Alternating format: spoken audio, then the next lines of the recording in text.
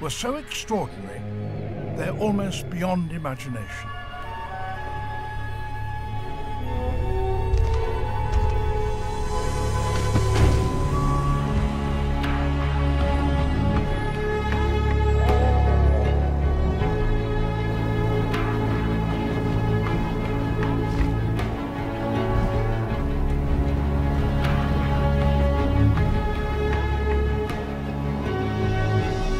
They were reptiles.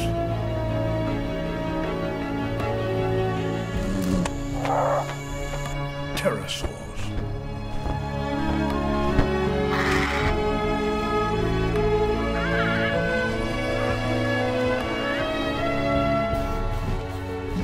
They evolved into a huge variety of species.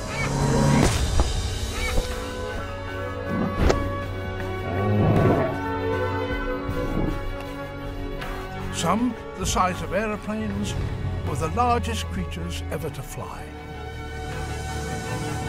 They could travel halfway around the world in a single flight. And the pterosaurs' extraordinary abilities enabled them to dominate the skies of the prehistoric Earth for 150 million years.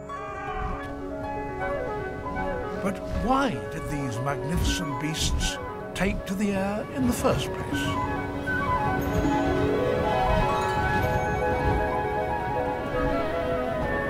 How did they fly? And why, after such success, did they vanish?